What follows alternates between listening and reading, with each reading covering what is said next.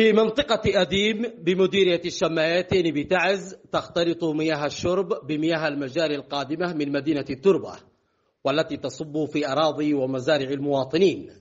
الأمر الذي يهدد حياة الناس بالخطر ويهدد المنطقة بكارثة بيئية غير مسبوقة. البير هذا يتلوث من كل البلاليع من كل بقع البلاليع يتلوث به. كان يصلح للشرب ولكل شيء. الآن ما يصلح للشرب يلا لا تصبون. البير هذا قد دخل به بلاليع تمام. مع البيوت هذا كارة نعاني من الماء. الماء ما يجيش إلا على الثلاثة أشهر ستة أشهر يبيعون وايتات رجعوا يبيعون وايتات.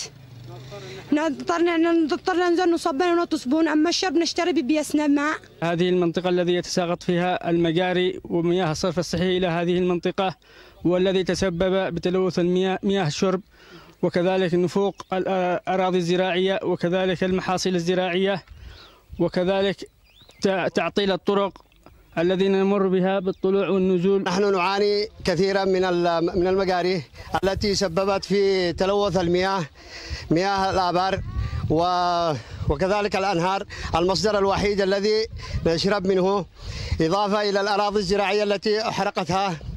ولا نجد أي أذن صاغية لشكوانا حيث أن الشكوات من قبل والآن ولا نلقي أي أذن صاغية. ترجع مشكلة اختلاط مياه الشرب بمياه المجاري إلى سنوات طويلة لكنها اليوم تفاقمت كثيرا بفعل الظروف والتوسع العمراني والتساقط الصخري من الجبل المطل على المنطقة والذي تسببه المجاري. نطلع بالسيارة ودرينا والبركات ظهرنا. والكداديف. بسبب المجاري حقهم. صبت علينا المجاري من كل الاتجاهات. وكذا آه القمامة حيث آه كلما أتينا إلى مكان لنأخذ آه مياه الشرب نزلت المجاري لفوق مياه الشرب واختلطت بها.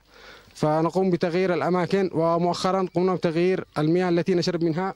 هذه الذي تشاهدونها أمامكم وصبت المجاري من أشراف مدينة التربة إليها والآن حاليا ملوثة بمياه المجاري ويشكو الأهالي من تفاقم الأمراض والأوبئة بشكل ملفت. فهناك الملاريا وحمى الضنك والفشل الكلوي وغيره من الأمراض التي تفاقمت إضافة إلى تضرر المزارع والآبار الجوفية. الأمراض بالشهر ثلاث نقال أربع نقال نطلع نطلع جهالنا نداويهم من الكوليرا من ال من ال من الطاعون من هذا من هذا خبرهم كامل. يعني الأمراض منتشرة داخل البلاد كامل بسبب الكداديف بسبب البلاليع بسبب الماء الماء غير الصالح للشرب. نزول القمامة من هذه المنطقة إلى منطقتنا مما أدى إلى وما أدى إلى حدوث جميع الأمراض والأوبئة منها الكوليرا والأميبيا وكذلك البعوض الذي يعني الذي أصاب الأمراض كثير من الأمراض من أطفالنا. الكارثة البيئية التي تهدد حياة الناس هنا دفعت الكثيرين إلى إطلاق مناشدات عاجلة إلى الجهات المختصة والمعنية بالتدخل السريع لإنقاذهم من الخطر المحدق بهم.